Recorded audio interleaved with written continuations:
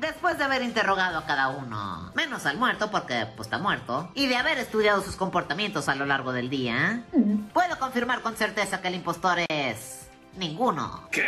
Espérate, espérate, espérate. Si no fue ninguno de nosotros, entonces ¿quién mató al blanco? Elemental, mi querido vato. Al blanco nadie lo mató por el simple hecho de que ya venía muerto. Yo no entiendo, bro. Verás, a este tipo lo mataron los mismos fabricantes de juguetes. Y así como lo vende muerto, así lo metieron al empaque. O sea que veníamos con un muerto todo este tiempo. Ah, sí. Ah, ok.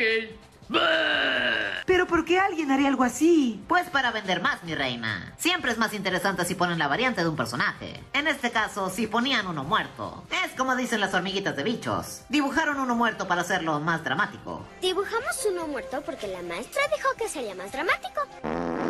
Entendí esa referencia. Bueno, amigos.